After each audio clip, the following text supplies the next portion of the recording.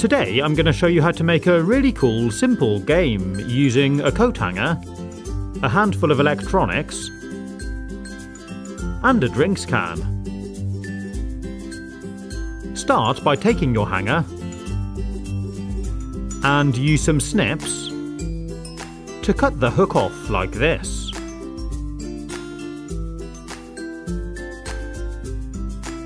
Next we want to open the hanger out a bit and bend the ends of the wire over 90 degrees like this.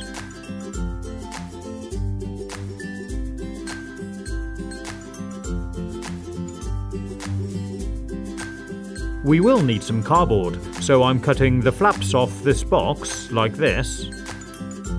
And we're going to use these as a base for our steady hand game, so we'll be mounting the wire into the cardboard.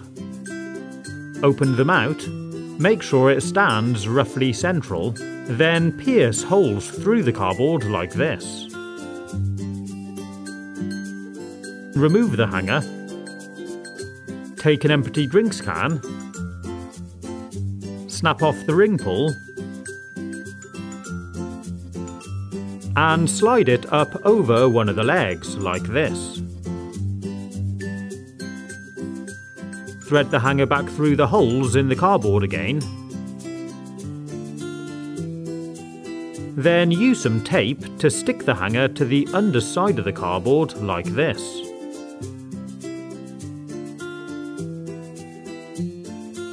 Once you've done both legs, turn it back over and place it on the other piece of card.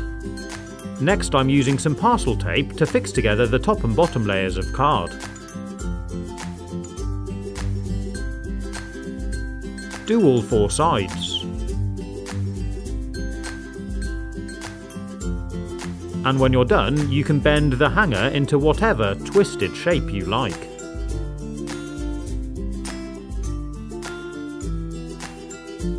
Next I'm lifting the ring pull out of the way and I'm using some insulation tape to make a barrier at the bottom of this leg. Then take a wire. I bought these with crocodile clamps already attached. Clip it to the base of the other leg. Then wrap some tape around that leg too. And also cover any exposed metal on the clip. It should look like this.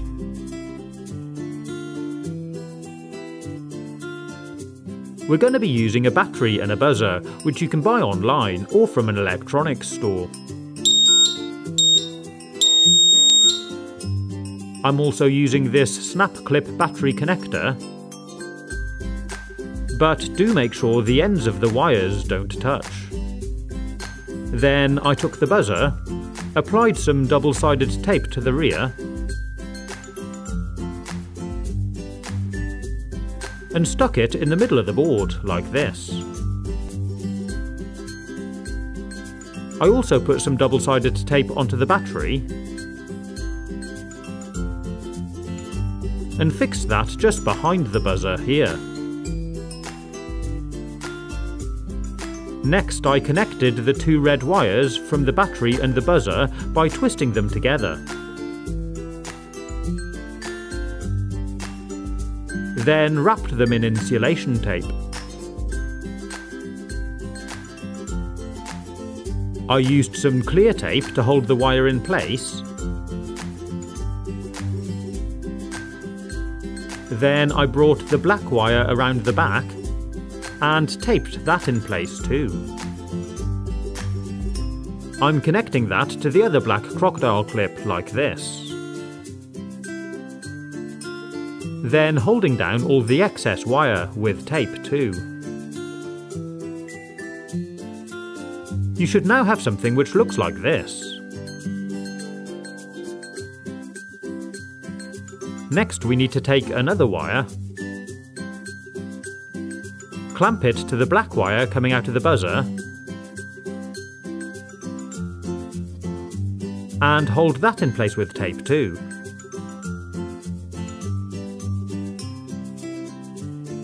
Now look what happens when we touch the metal coat hanger with the other clip.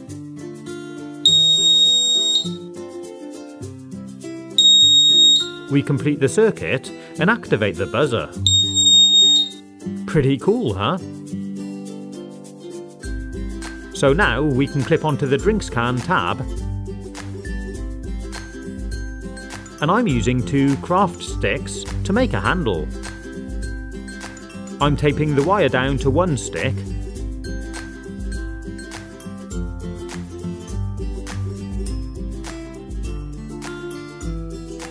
then fixing the other stick on top. When you're done, it should look like this.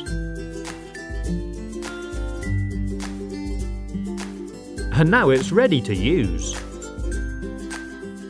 And you can see just how steady your hand is. It really is tricky, you do have to concentrate a lot.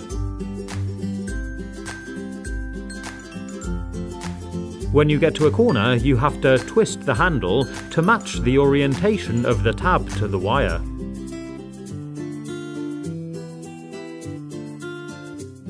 This drinks tab doesn't give much room for error.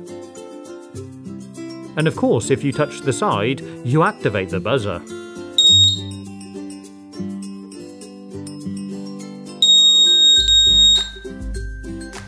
It's a really good fun little game,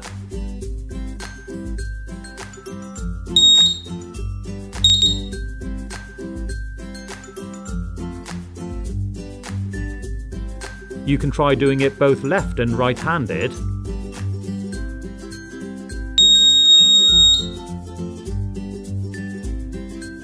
And see if you can get further than friends or family. When you get to the end, the insulation tape makes a break in the circuit to give you a safe zone. Same at the start. You can either try doing it backwards, or slide it back to the other end and go from there again. If you find it's just too difficult, you can disconnect the clamp from the tab, take a metal keyring,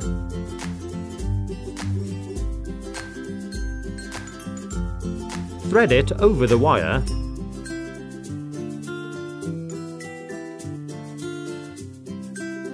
And clamp onto that.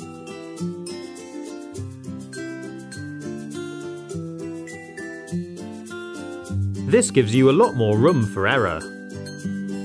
But it'll still bleep if you touch the wire.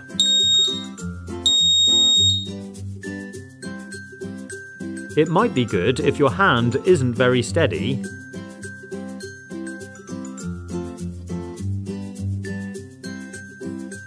and the drinks tab is just too difficult. It's good to practice with this.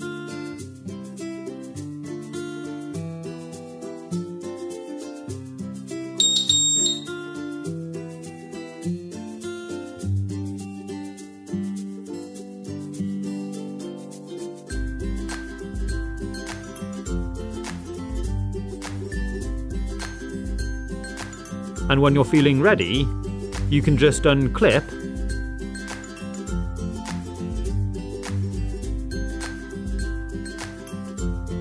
and reattach to the drinks can tab to see if you've improved.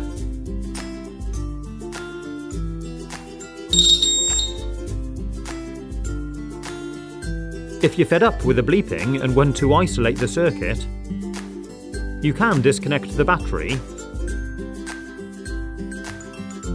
or just unclip these leads.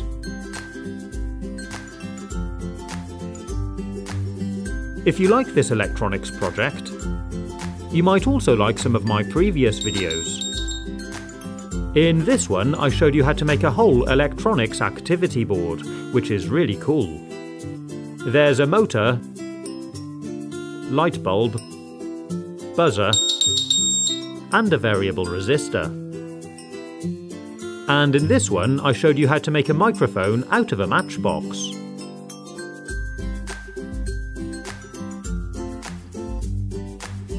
I do hope you enjoyed this video. If you want to see more, you can click on the links or take a look at my YouTube channel page. Stay safe, have fun, and as always, thanks for watching.